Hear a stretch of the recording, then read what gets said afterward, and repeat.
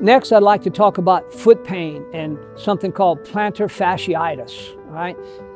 Uh, the number one symptom from plantar fasciitis is when you get out of bed in the morning, those first 10 steps to the bathroom, if they're a killer and you have ankle pain or calf pain or pain in the arch of your foot, that's plantar fasciitis. The nice thing about plantar fasciitis is most of the time, a little physical therapy and some stretching exercises will get rid of those symptoms and the cause of the pain.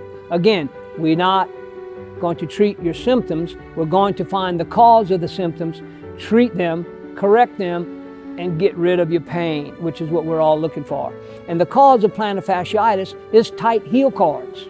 What is a heel cord? That's the tendon that hooks onto your calf muscles. So if your calf muscles are tight, your foot's not going to bend as much when you walk, and it's going to stretch the arch in your foot, and it's going to get it inflamed, and that's the plantar fasciitis. But the pain's in your foot, the problem's in your calf. So again, our job at Agilus is to find the cause of the pain and get rid of it and correct it, not just to treat your pain. If your doctor sends you to physical therapy or recommends physical therapy, you always have a choice. Give us a call at Agilus Health. We have something for everybody.